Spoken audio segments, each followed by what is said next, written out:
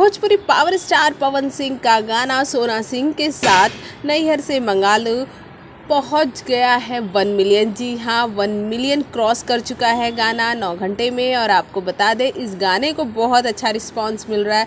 पवन सिंह के पहले वाले सॉन्ग से भी ज़्यादा रिस्पांस मिल रहा है, क्योंकि सोना और पवन की आवाज़ में आपको याद होगा नज़र मिलाओ, बबुआन से को भी बहुत ही अच्छा रिस्पांस मिला था।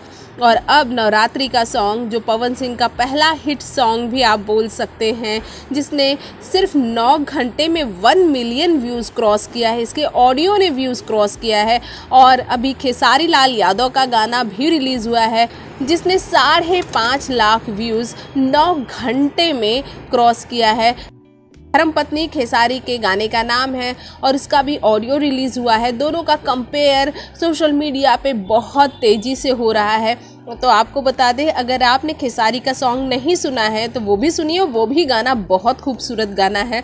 और साथ ही साथ उसमें प्रियंका सिंह की आवाज़ है और यहाँ पर बात पवन और सोना की हो जाए तो इनके गाने को लोग बहुत पसंद कर रहे हैं। आपको इन दोनों का गाना कैसा लगा, हमारे कमेंट बॉक्स में कमेंट करके बताइएगा।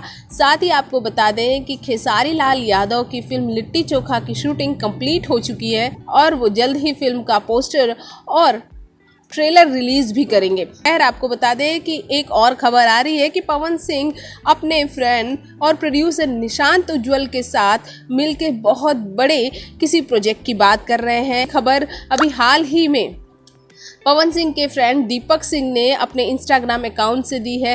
हो सकता है कि किसी सॉन्ग की तैयारी हो रही है, हो सकता है किसी फ़िल्म की तैयारी हो रही हो, लेकिन जो भी हो रहा है, बड़े पैमाने पर हो रहा है, बड़े स्केल पर हो रहा है तो भोजपुरी जगत की हॉट और मसालेदार गॉसिप के लिए हमें सब्सक्राइब करना बिल्कुल ना भूलिए।